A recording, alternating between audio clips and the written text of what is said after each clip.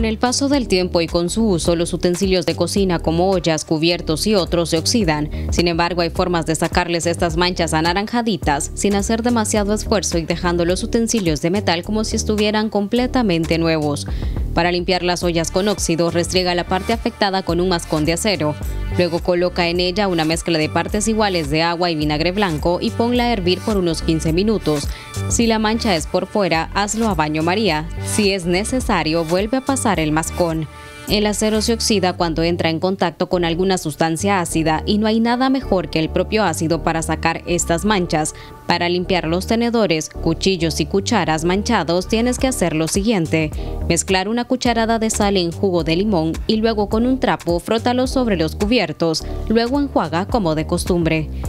También puedes probar con vino tinto.